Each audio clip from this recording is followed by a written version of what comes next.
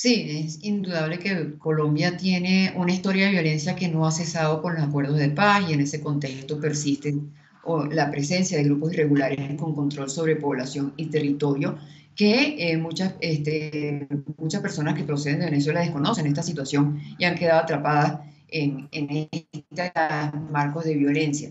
Eh, en, en, ese contexto, pues este, hay grupos que imponen su propia ley y esto ha afectado por igual a colombianos y a venezolanos y todos estos casos deben ser investigados y sancionados. Ahora, eh, según el Estatuto de Roma, el exterminio, el exterminio comprende la imposición intencional de condiciones de vida, estoy leyendo textual, entre otras la privación del acceso a alimentos o medicinas.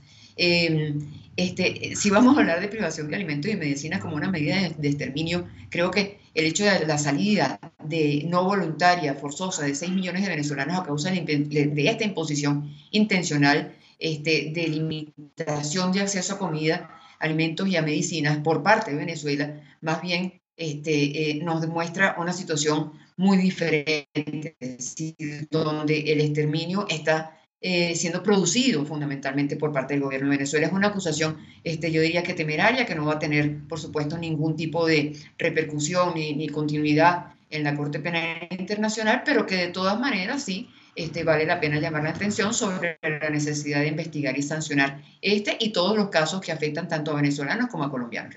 Señora Bolívar, ¿qué posibilidades de prosperar tendría esta denuncia ante la Corte Penal Internacional? ¿Es realista? No, como decía anteriormente, creo que no tiene ningún fundamento, que no va a tener ninguna posibilidad de prosperar. Este, eh, por, porque, como decía, no se ajusta al, al, a la definición este, que, se establece de, que tiene que ver con delitos generalizados y sistemáticos, ¿no? Eh, si ha habido un crimen de lesa humanidad fue la expulsión masiva de colombianos de territorio venezolano en 2015 por parte del régimen de Nicolás Maduro, que fue precedido de una campaña de xenofobia eh, que los culpaba de la escasez y del contrabando.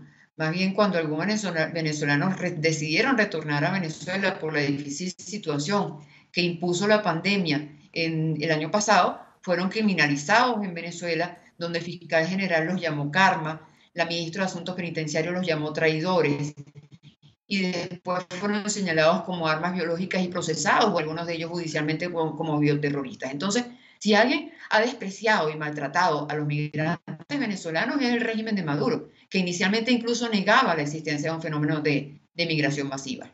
Señora Bolívar, y según su experiencia y sus investigaciones, ¿cuál es la situación de los migrantes venezolanos en Colombia? Muy brevemente.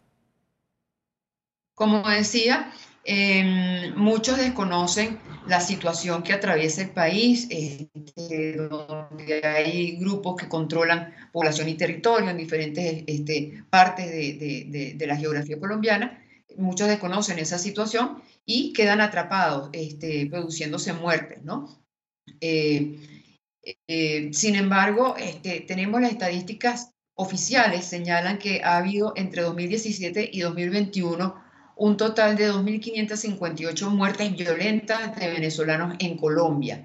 esta cantidad de muertes no necesariamente se producen en manos de funcionarios, sino también eh, por riñas, armas de fuego, etc. Sin embargo, en un periodo de menor de tres años tenemos 14.557 asesinatos por cuerpos de seguridad del Estado en Venezuela. Entonces, de nuevo, las cifras no favorecen al gobierno venezolano en lo que tiene que ver con la protección del derecho a la vida de los venezolanos.